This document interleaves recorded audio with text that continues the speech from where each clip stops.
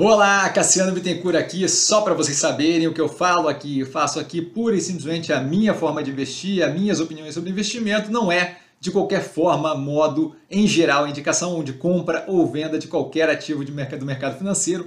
E agora o vídeo, valeu! Olá, Cassiano Bittencourt, pelo Visão Estrategista, neste momento para fazer uma análise super tranquila do Odontoprev. Basicamente um acompanhamento à operação empresa de planos odontológicos Tá, o resultado novamente muito positivo, entregando o esperado no primeiro trimestre de 2023, que está aqui embaixo, uma maior dinâmica da evolução, é, na verdade a evolução da dinâmica operacional da empresa, tá, com um pouco mais de abertura, comentando o caminho que eles têm trilhado para justamente ser uma operação cada vez mais eficiente. Aqui apenas um acompanhamento bem light da operação.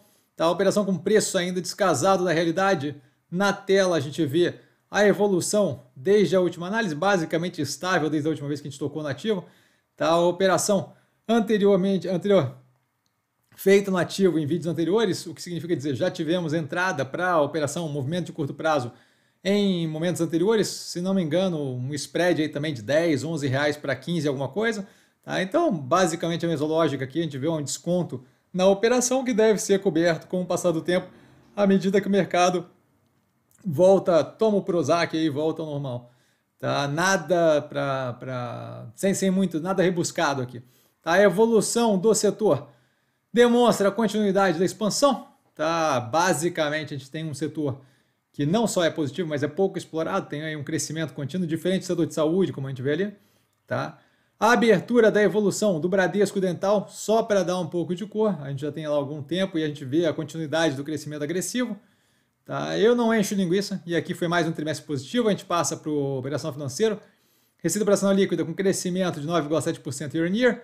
Tá? Aumento no número de vidas, nada mais que natural. Trimestre passado a gente teve uma queda, mas é sazonalmente natural.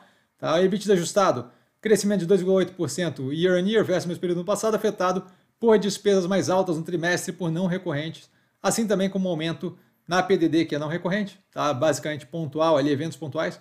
Margem vai a 27,9% versus 29,8%, graças justamente a esse aumento da despesa não pontual. Lucro líquido com crescimento de 17,7% year on year versus o mesmo período no passado, a margem de 22,2% versus 20,7% no mesmo período no passado. Forte margem tá, de lucratividade. SG&A, o despesa com vendas gerais administrativas, justamente com aumento por one-off comentado, tá? a questão ali não pontual não recorrente. Isso como percentual da receita líquida, né? sempre lembrando. PDD, provisão para devedores duvidosos, com aumento de para 2,7%, por justamente o aumento pontual não recorrente. Tá tranquilo também a sinistralidade em 41,3%, redução versus o mesmo período no passado. A operação continua com caixa líquido nesse momento de 989 milhões, basicamente um bi. Tá zero preocupado, a operação roda super bem, entrega consistentemente o esperado, não faz qualquer sentido.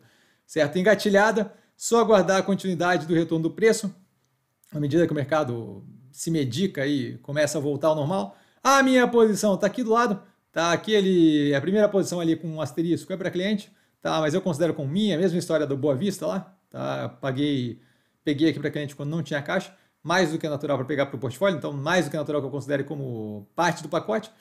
Tá? Resumindo, operação sólida, preço descontado, consistente geração de lucro que possibilita dividendo, enquanto a gente aguarda um retorno do preço a mais ou menos uma normalidade aí, tá? No brainer, nada muito para explorar aqui. Dúvida? Dúvida, eu tô sempre no Instagram, arroba com sim. Só ir lá falar comigo, eu não trago a pessoa amada, mas estou sempre lá tirando dúvida e vale lembrar que quem aprende a pensar bolsa opera com um mero detalhe. Um grande beijo a todo mundo e análises que seguem. Valeu, galera, beijão!